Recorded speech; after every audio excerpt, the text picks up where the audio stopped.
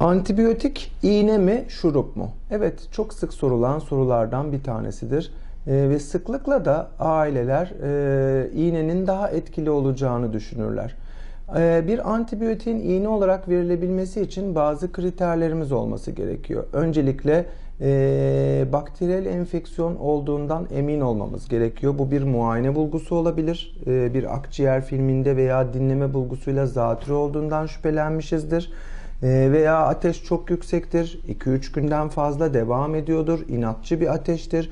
Niçin bu şekilde bir sorunumuz var? Muayenede hiçbir şey yok ama neden dediğimizde bir laboratuvar kan testi yaparak yine e, yüksek lökosit sayısı, yüksek CRP gibi bazı tahlillerin sonuçlarına bakarak yine e, mikroskopta e, lökositlerden nötrofil tipinin daha yükseldiğini görerek enfeksiyonun bakteriyel olduğuna e, daha fazla kanaat getirebiliriz.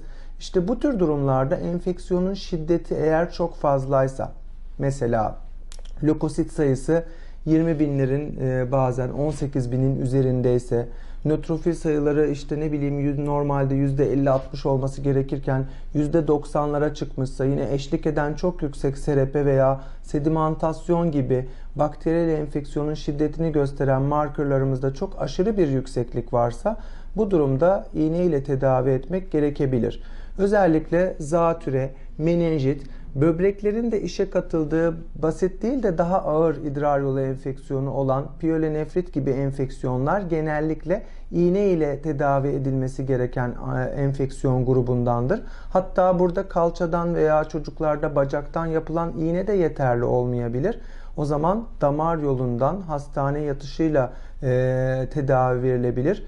Uyumlu bir çocuksa eğer e, koopere ise aile de kabul ediyorsa bazen e, günlük takiplerle damar yoluyla da hasta eve gönderilerek günlük tedavi yine evden de bu şekilde yürütülebilir. Her zaman iğne şuruptan daha etkili olmayabilir. Özellikle bazı uzayan öksürüklerde boğmacayı taklit eden mikroplar, mikoplazma, klamidya tarzı enfeksiyonlarda e, bir şurup e, çok daha etkili olabilir e, herhangi bir iğneden.